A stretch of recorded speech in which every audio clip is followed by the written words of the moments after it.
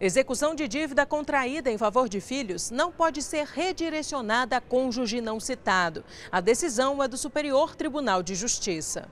A quarta turma do STJ decidiu que, caso não haja a citação de ambos os cônjuges na fase de conhecimento do processo, aquele que não foi citado não pode responder à demanda.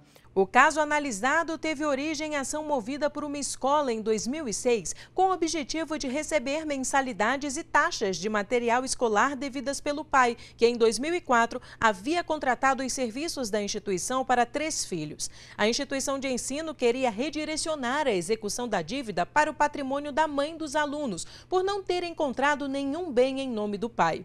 A escola argumentou que os pais têm responsabilidade solidária em relação ao sustento e à guarda dos dos filhos e, por isso, devem arcar igualmente com a educação. O relator do caso, ministro Luiz Felipe Salomão, negou o pedido da instituição de ensino. Ele explicou que a obrigação dos pais com o sustento e a guarda dos filhos é solidária, mas que essa solidariedade por si só não é suficiente para a responsabilização patrimonial de ambos os cônjuges.